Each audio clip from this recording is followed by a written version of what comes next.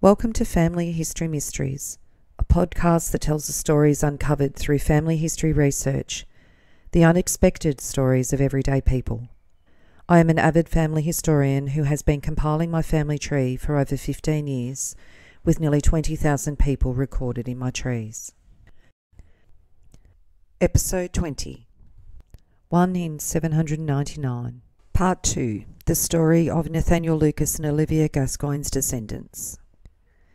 If you haven't listened to part one of episode 21, I highly suggest that you start with part one first so you have an understanding of the background of their story. Nathaniel and Olivia left behind a large family of children and grandchildren, and I'm going to cover each child and how they fared after the foundations that their parents laid for them. The first child, Anne, was born on Norfolk Island on the 2nd of March 1779. She married Charles Williams at St Philip's Church in Sydney on December the 1st, 1807, when she was 18. They were married by Reverend Harry Fulton, a celebrant, who had also been a convict at Norfolk Island. Both left their mark as signatures. Charles Williams was born in about 1770 in England and he was a convict. He was convicted on the 9th of March 1793 at Lincolnshire Assizes for stealing and driving away a chestnut gelding, the property of John Hutchinson. The sentence initially was death, but was commuted to 14 years transportation, and he arrived in Sydney on the Ganges on the 2nd of June 1797. In about 1818, Charles and Anne moved to Launceston, as they appear on the musters in 1919. Anne acquired her own land grant on the southern side of the Tamar River, north of the settlement. When her mother Olivia obtained her own land grant, she entered into an arrangement with Anne, making her a tenant in common. Upon Olivia's death, the land passed on to Anne, and she sold it in 1836 and distributed the proceeds amongst the family. Anne and Charles had 11 children, all surviving infancy. Somewhere between 1832 and 1836, Charles Williams disappears, and it's believed that he was murdered. Oral history says that he was murdered at the Pine Mount Bridge, Sydney, by Aboriginals or by convicts. This cannot be backed up by evidence of his death, though. By 1836, Anne had formed a relationship with Thomas Farrow, who she later married on the 22nd of April 1840 at the Independent Chapel in Tamar Street, Launceston, when she was 51. Anne gave her age as 30 and Thomas as 40, but he would have been at least 55. The witnesses were Anne's brother James Lucas and his wife Elizabeth. They had previously had a daughter, Frances, who was born on the 25th of August 1837, and she was baptised at Longford, Tasmania on the 21st of October 1838. Thomas Farrow was a baker when their daughter was born, and he was also the publican of the Half Moon Hotel in George Street, Launceston, at the time of their marriage. Thomas, spelled F A R R O W, or alternatively F A R O, was also a convict who was tried at the Lenten Assizes in Chelmsford, Essex, on the 12th of March 1801 for stealing a horse. He was sentenced to death, but received the royal mercy and was sentenced to life on condition that he be transported to the east coast of New South Wales or another adjacent island. Thomas arrived in Sydney on the Perseus on the 4th of August 1802. He was in Port Dalrymple, which is now known as Launceston, by 1809.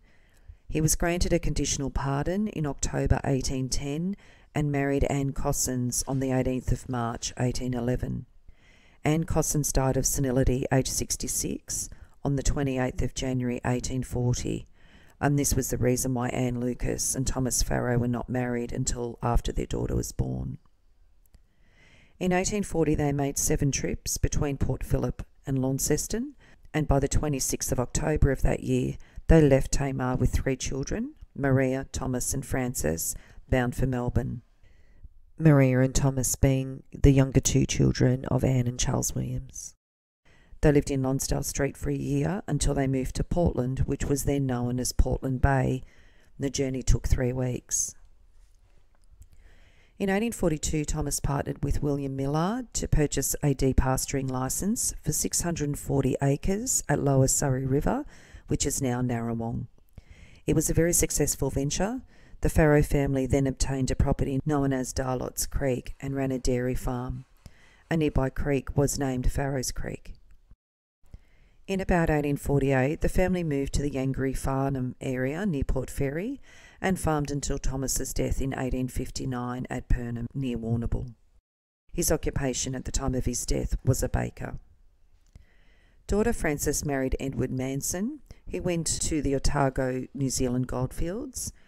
Anne and Francis moved to New Zealand on the 22nd of September 1862 and arrived in Port Chalmers, now known as Dunedin, and Anne died at Dunedin on the 15th of July 1864, aged 77. Charles Williams, who was Charles and Anne's first child, was born in Sydney in 1808. He was baptised at St Philip's Church of England. He moved to the Launceston area of Tasmania with his parents and family by about 1819. This can be established from the returns of the Children's Census of 1819 and 1829, which show that the family was in that area. An examination of births, deaths, and marriage records for Tasmania up until the early 1830s produces evidence for only two Charles Williamses in the north of the state, these being father and son. Further, the same records failed to yield a record for a marriage for Charles Jr., although there is a death for a Charles Williams, aged 20, registered at Launceston in 1829. This registration is in fact for Charles Williams Jr., and normally having buried him, nothing further would have been done regarding his background except for a chance find in the Tasmanian State Archives. During research to try and establish the death of Charles Sr., a reference was located in the archives for a Charles Williams who was hung as a criminal. Further investigation turned up a series of facts that led to the conclusion that the criminal was in fact the son of Charles and Anne Williams. The Hobart Town Courier reported in its issue on the 3rd of January 1829 on a sitting of the courts at Launceston in the previous week. At that sitting was charged one Charles Williams. He was accused of having gone on the 20th of December 1828 in disguise with two other men to rob the house of Mr. Griffiths, located on the banks of the Tamar River. They stole 40 shillings and put Mr. Griffiths in bodily fear of his life. Charles Williams was the only one captured at the time. He was described as being quite a youth, not more than 17. Allowing for some latitude in guessing a person's age simply by looking at them, this fits with Charles Williams Jr.'s true age of 20 years. Following the court sitting, Charles Williams was convicted, and on the 26th of January 1829, he was sentenced by Chief Justice to be hung. The sentence was carried out on the 16th of February 1829. What his grandmother Olivia Lucas thought of this can only be imagined. Having served their sentences, she and Nathaniel worked hard to ensure that their descendants had a better life, attempting to hide or at least lessen the effect of a convict past. Now here was Olivia's first grandchild being hung as a criminal. Moving on to the second child, William. William Nathaniel John Lucas was Nathaniel and Olivia's fourth child. He was born William Gaskins on the 7th of July 1792 on Norfolk Island. His name reverted to William Nathaniel Lucas administratively on his transfer to Sydney in 1805. William could not read nor write, and in 1824 William gave evidence to a judicial inquiry into an incident at New Norfolk, Van Diemen's Land, in which a number of bushrangers raided the homestead of the McCarthy family, whom William had known on Norfolk Island and had been visiting at the time. An X marked his statement. This is consistent too with his marriage registration. However, he was a skilled tradesman. In particular, he was recorded as a boat builder in his early years, and it appears that his father taught him the art of carpentry, along with his brothers, and it included boat building and skills passed on.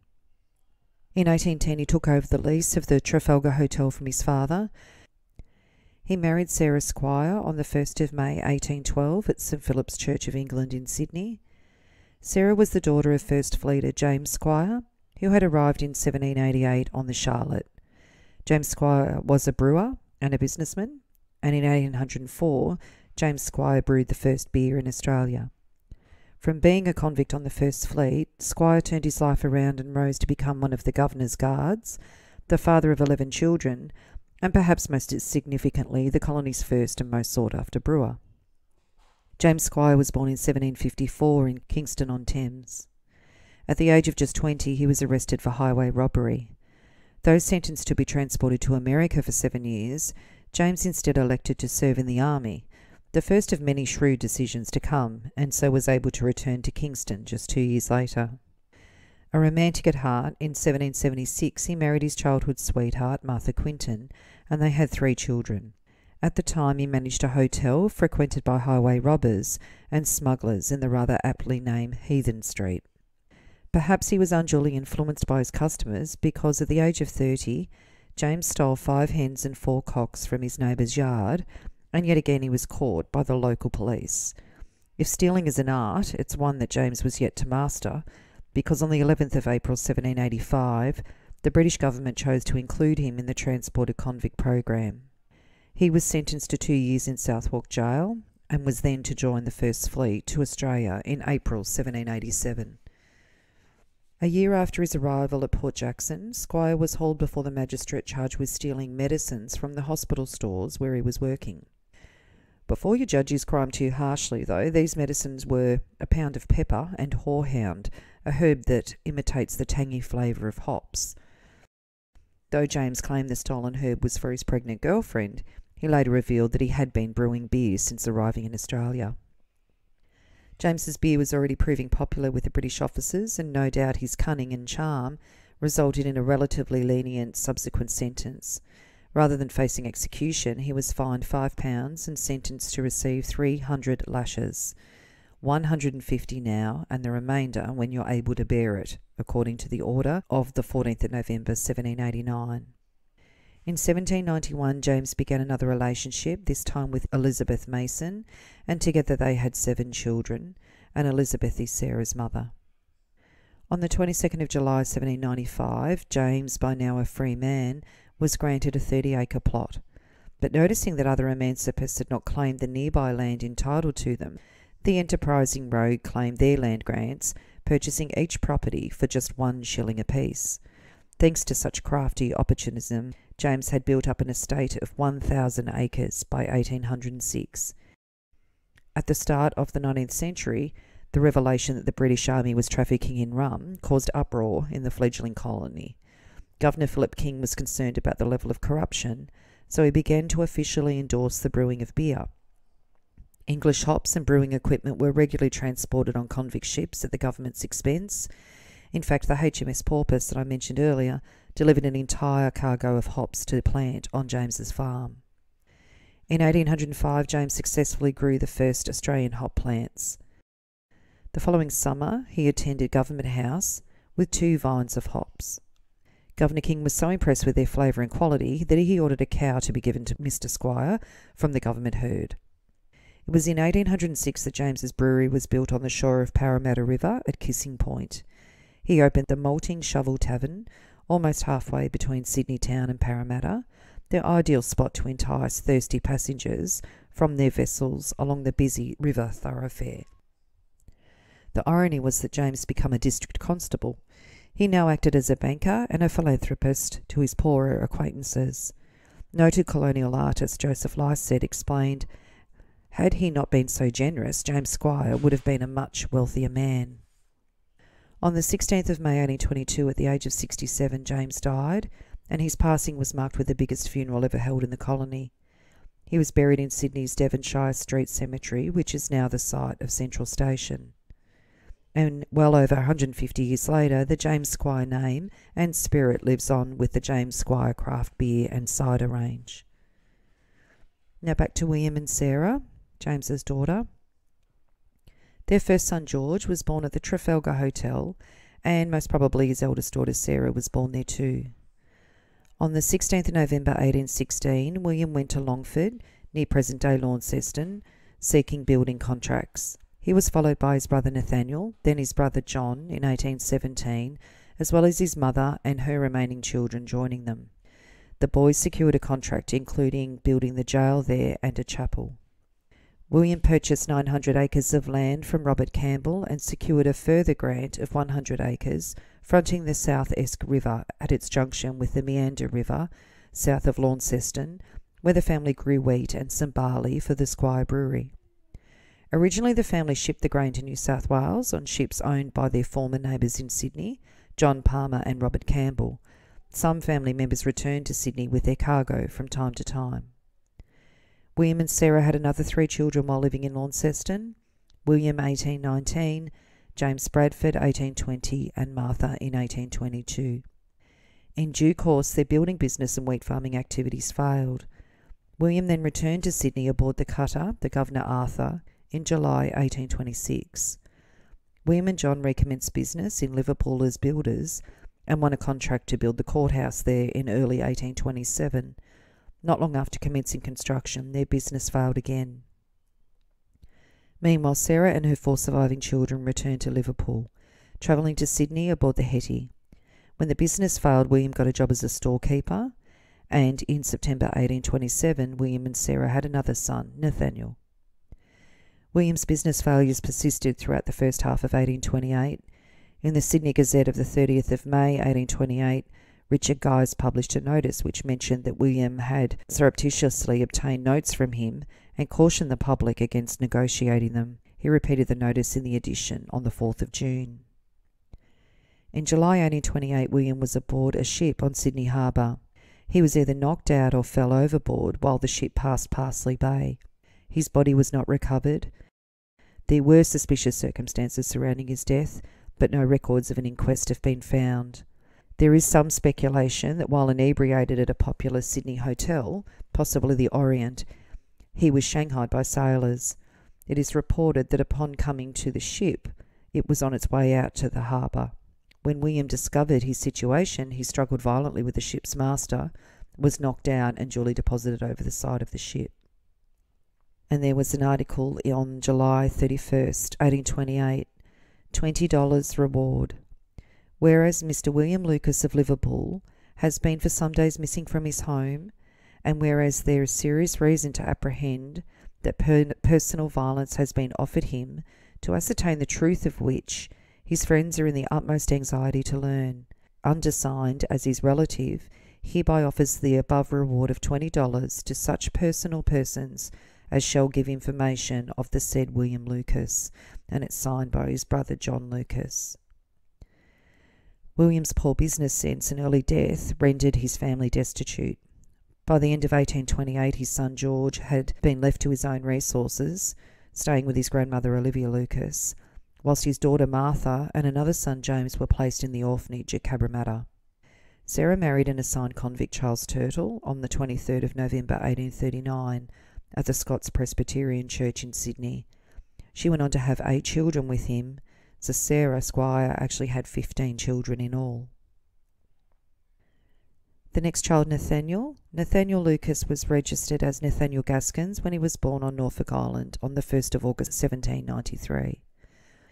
When the family moved to Sydney in 1805, he worked with his father as a carpenter, and he lived in a de facto relationship with Sarah Stone, who was a convict that had arrived in Sydney in 1812. A little bit about Sarah's conviction.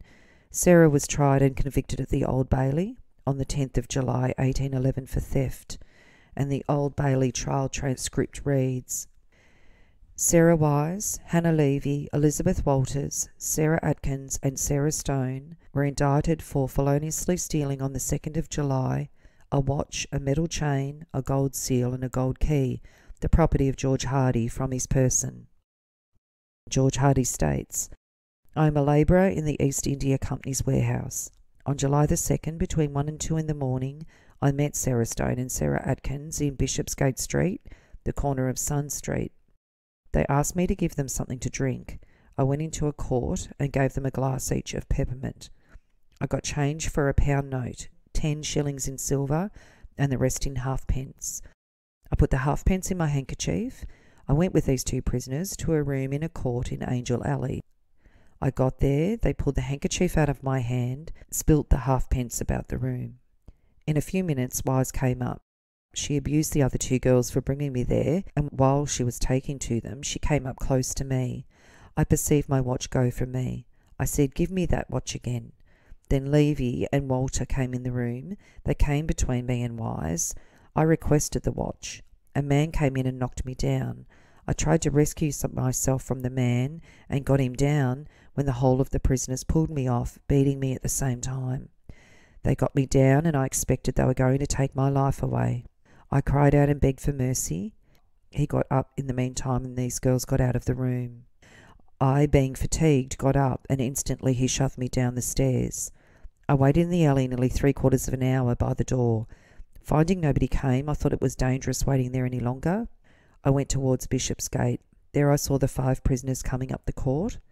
I fancy the prisoners saw me. They returned back again and went into a gin shop near Sun Street. I saw the watchman and requested that he would take the whole of them. He informed me he was off duty. I told him I had been robbed and ill used. He then took them all up to the watch house. They were searched, and about seven shillings and odd were found upon them. I had been drinking. I knew what I was about. I am sure that Sarah Atkins and Sarah Stone picked me up, and I am sure the other women came to assist them. Benjamin Chapman states, I am a watchman. On Tuesday at four o'clock in the morning, the prosecutor gave me charge of five prisoners. I took them from the wine vaults to the watch house. John Williams deposed, I am a constable. On searching the prisoners, I found Anne Levy one shilling and ninepence farthing, half a crown in silver, and the rest in copper. Atkins' defence was, I never saw the man before with my eyes. Stone's defence, the same. Wise's defence, I am innocent. Levy's defence I went to Spitalfields Market. I could not buy anything. I was returning and I met the other prisoners. We had a quarter and a half of liquor together. Walter's defence I never saw the man with my eyes. Wise guilty, aged 18. Levy guilty, aged 22. Walter guilty, aged 21. Atkins guilty, aged 19. Stone guilty, aged 16. Transported for seven years London jury before Mr. Recorder. Sarah Stone left England on the 4th of June 1812 on the Minstrel and arrived in Sydney on the 25th of October 1812. In 1814 she married Thomas Mason.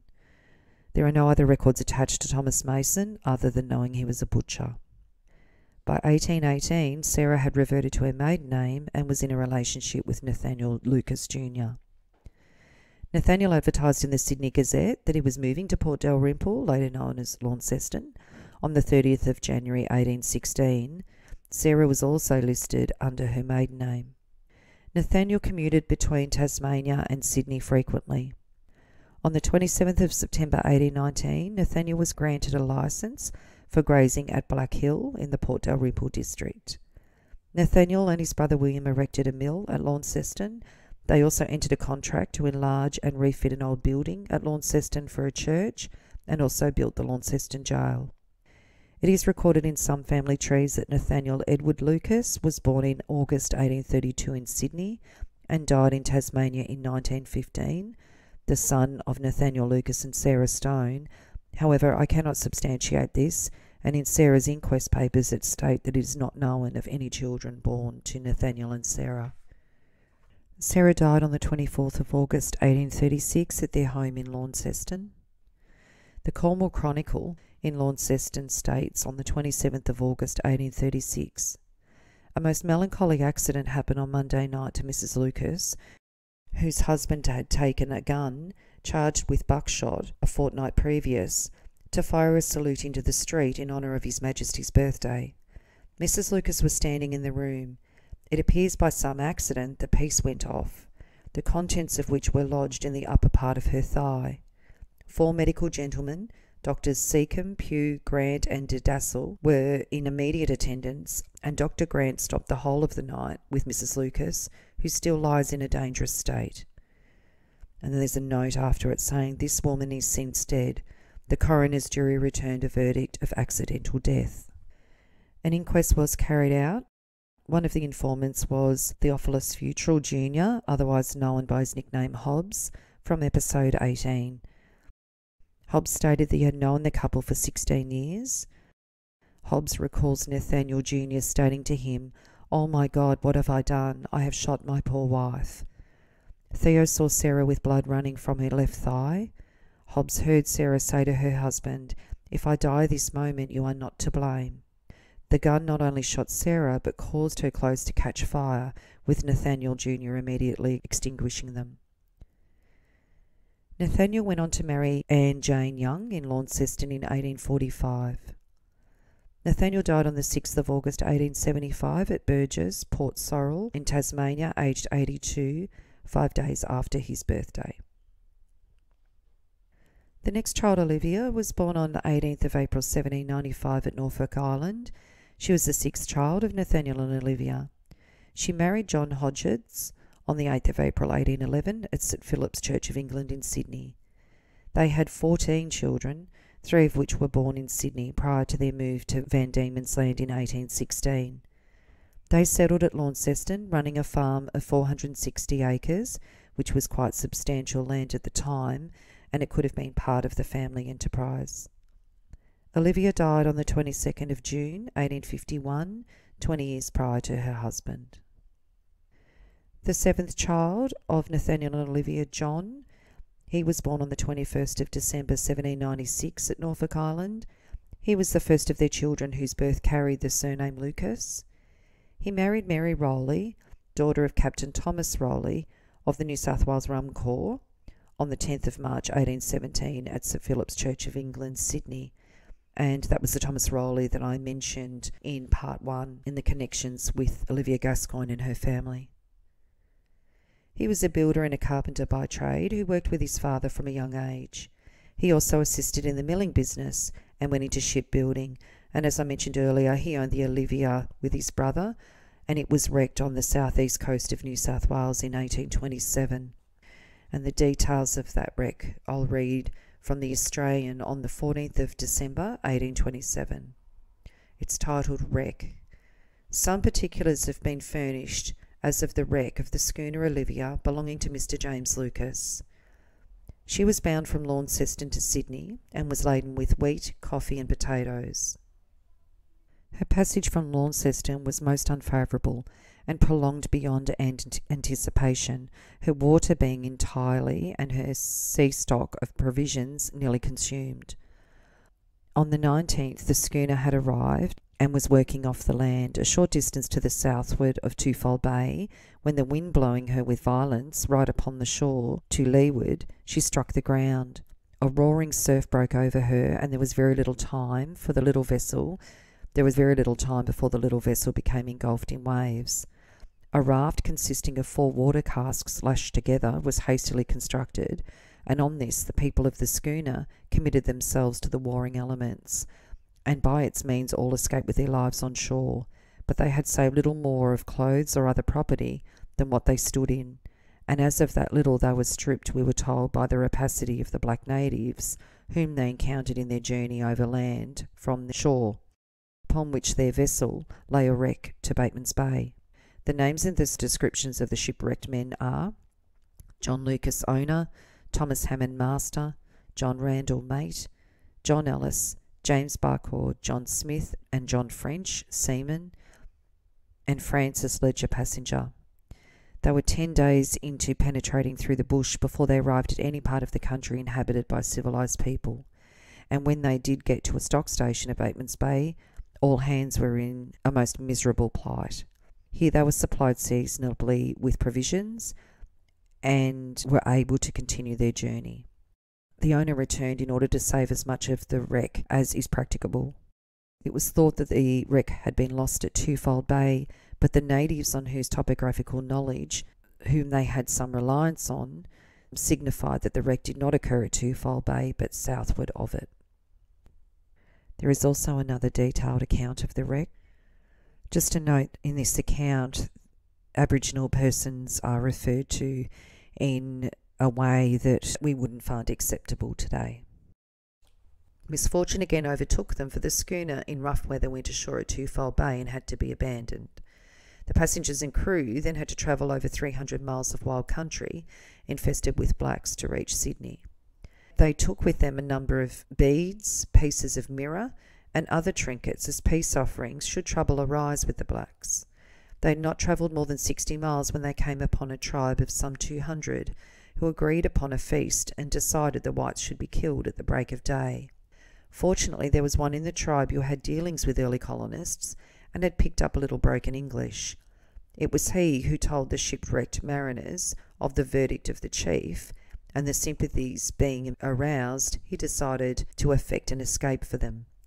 Under cover of night, he led them to the river, placed them in a canoe, and they got safely away, reaching Sydney without further mishap. John was declared insolvent in September 1828 and pursued by the Audit Office of the British Government until as late as 1844 for the advance for the Liverpool courthouse construction.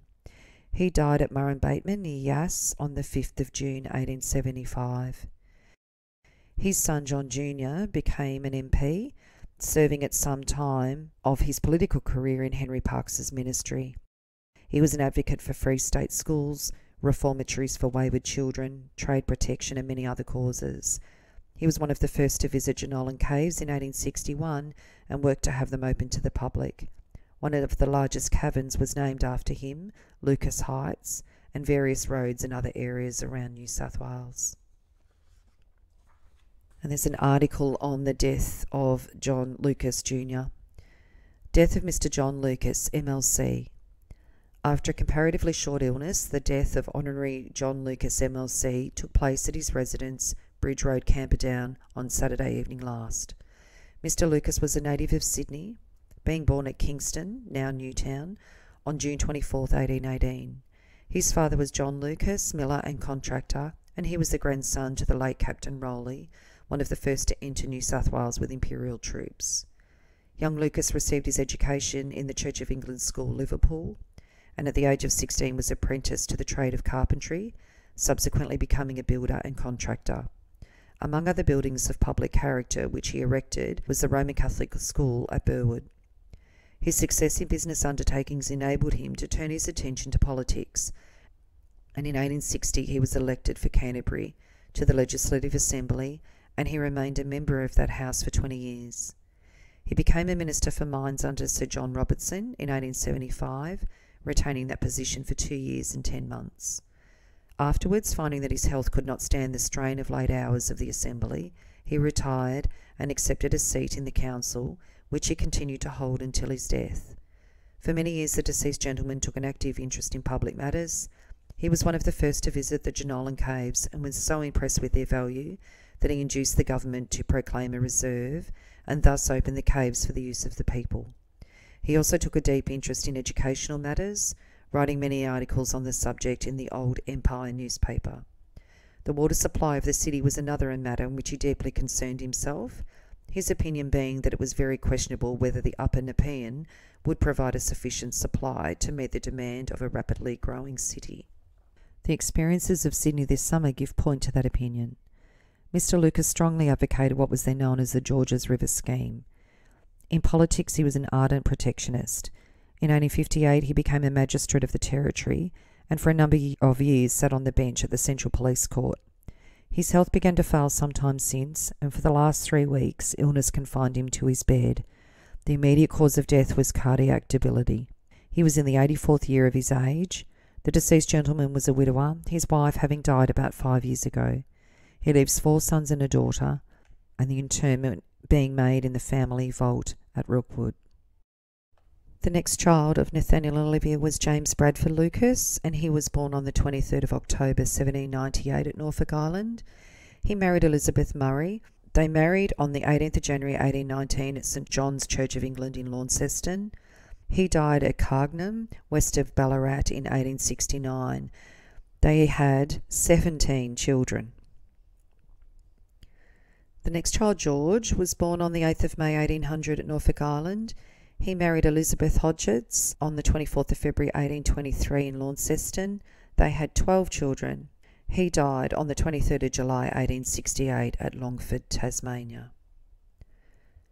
The next child, Charles. Charles Thomas Lucas was born on the 18th of December 1801 at Norfolk Island. He married Eleanor Ellen Murphy a daughter of Michael Murphy and Hannah Williams from episode 7 on the 27th of January 1820 in Launceston. They had 17 children. Charles went on into shipbuilding with his older brother. One of Charles and Eleanor's children, Charles Thomas Lucas, I'll outline some information on him. Mr. Charles Thomas Lucas, an old Gippsland identity, passed away at Stradbroke, North Gippsland on Saturday, the 16th of February 1918. Associated with whose life is a chain of interesting incidents. He was at the time of his death the oldest Australian native, having been born at Launceston, Tasmania in 1822 and died in his 96th year. His grandfather, Mr. Nathaniel Lucas, is stated to have come to Australia by the first fleet of sailing vessels from England and occupied the position of government architect and superintendent of public works. He had seven sons and four daughters, and one son, Charles, born in Sydney, married the daughter of Sergeant Murphy of the 42nd Regiment, and 15 children were born. They lived in Tasmania, and his son Charles, subject of our notice, was born there in 1822. Misfortune has, having overtaken his father as a wheat farmer by reason of floods, having lost 2,000 bushels of wheat, valued at 10 shillings a bushel, he returned with his family to Sydney in 1834 on the boat Olivia, which he and his brothers in law built, with a cargo of wheat. Reports having reached them of good prospects in Victoria, the family started overland to Omeo, Gippsland, and eventually drifted to Yarram, settling on the Tarra Creek. Mr. Lucas, father of the deceased, acquired 115 acres of land on which the old flour mill was built, and also 150 acres on the opposite side. The mill was worked by a water wheel. Several hundred pounds was spent on the mill, and Mr. Lucas supplied flour to the store he started at Russell's Creek. Things did not prosper, however, and the mill was mortgaged to Mr. Turnbull, Port Albert, and finally lost. He took ill and died at Cascade. The store at Russell's Creek was afterwards sold by his son Joseph for 40 bushels of wheat. The deceased Mr. Charles Thomas married Miss Martin, daughter of Captain Martin, in 1856 at Bruthen Creek, South Gippsland, and had three sons and five daughters. They went to Yarram and he engaged building the water wheels at his father's mill. He afterwards settled at Stradbroke, where he lived the rest of his life. His wife died some years ago, the funeral on Sunday was attended by a large number of relatives and friends, the remains being interred in the Sale Cemetery. Mrs. H. B. Newton of Alberton is a daughter of the deceased, and Mr. Goldie Gabbett, who recently returned from the war, married one of his daughters. Charles Sr. died in February 1862 near Bairnsdale in the Gippsland area of Victoria. The next child, Sarah, was born on the 7th of December 1903 at Norfolk Island, and this was compiled by Betty Tabor from materials supplied by Russell Barton and Brian Hortle. Sarah Lucas was born on the 7th of December 1903 at Norfolk Island. Sarah Lucas was the 11th child of Nathaniel and Olivia Lucas. Sarah was baptised at Norfolk Island on the 28th of February 1805, just before leaving the island the officiating clergyman being Henry Fulton. She was the second daughter to be called Sarah, the first one being one of the twins that was killed by the falling tree. Sarah moved with her parents from Norfolk Island in the first evacuation and arrived in Sydney on the 11th of March 1805 on the Investigator. She lived with her parents at Sydney and Liverpool until 1817, when her mother Olivia took all the younger children with her to Launceston, and Sarah remained in Van Diemen's Land for the rest of her life. On the 27th of January 1820, she married James Hortle by banns and licence at St John's Church, Launceston. James, the son of James Sr. and Anne Hortle, was born at Sydney on the 1st of November 1799. James and Anne with their family had arrived at Van Diemen's Land in 1804, Lieutenant Governor Paterson, and became one of the founders of Port Dalrymple. He was given a tract of land and then went west to the Tamar, where he was speared four years later. In 1814, James Jr. received a grant of 50 acres in the Lake River, Norfolk Plains, and in 1816 he received a further 200 acres. In 1821, 350 acres, and in 1820 he leased pasture from the government. James joined the police force early and became a division constable for Norfolk Plains, both east and west. his Lake River grant being in the east and later grants in the west. During the early 1820s, he lived with his family on Quamby's Brook West and up to 1829 when he was appointed Chief District Constable with headquarters in the eastern and more populous part. In 1830, he exchanged his western farm for Inglewood near Longford, where he lived apparently until his death. He held office as Inspector of Stock in 1836 in addition to his police duties. It will be seen by this short history that Sarah and James were becoming more affluent and had a busy life. Sarah and James had seven children during the 19 years they were married, they were mostly born in the vicinity of Norfolk Plains, which is now Longford.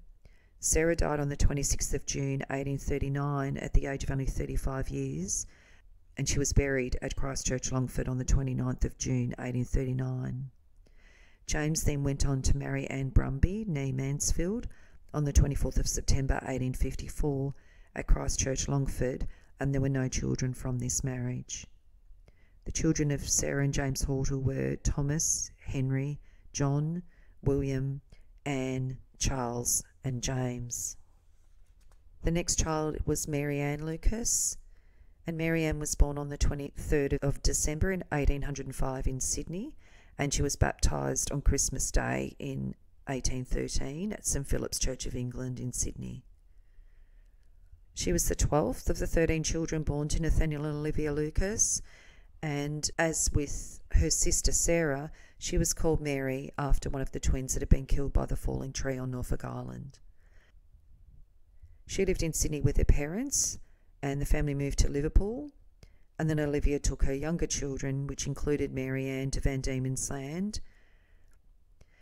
Mary Ann married Samuel Cox, another Norfolk Islander, on the 6th of August 1822 at Longford.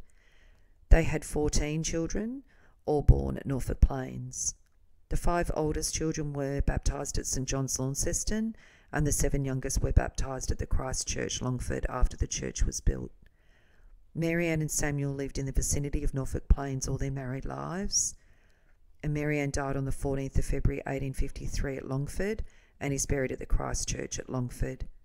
She only outlived her husband Samuel by four days. He died on the 10th of February 1853. And the last child, the youngest child of Nathaniel and Olivia Lucas, was Thomas, and he was born in Sydney on the 17th of November 1807.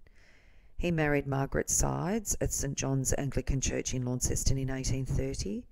Margaret Sides was also the child of two convicts, and she was the half sister of Elizabeth Murray, who Thomas's brother James had married. They came to Victoria in approximately 1839 with their first five children. They moved to Geelong in 1840, where Thomas worked as a builder. They went on to have a total of 15 children, and Thomas died in April 1888 in Geelong. About 400 people met at a family reunion held at the Old Mint in Sydney in January 1988. A conservative estimate suggests that there are at least 35,000 people living in Australia who are descended from these two First Fleet convicts. No wonder many, many people can link their family roots to Nathaniel Lucas and Olivia Gascoigne. Most lived until an old age, and on average, the first generation had at least 10 children each. Nathaniel and Olivia, who despite their mode of arrival in this country, appear to have played a considerable part in the development of this country. I hope you enjoyed the story of Nathaniel and Olivia Lucas. Certainly many ups and downs. If you are interested in sharing your story on my podcast, Family History Mysteries, please go to my Facebook page and send me a message. If you would like some assistance in filling in the gaps in your family tree to see what mysteries you solve, please get in touch. And don't forget you can have early access to episodes by subscribing, and you'll also gain access to bonus episodes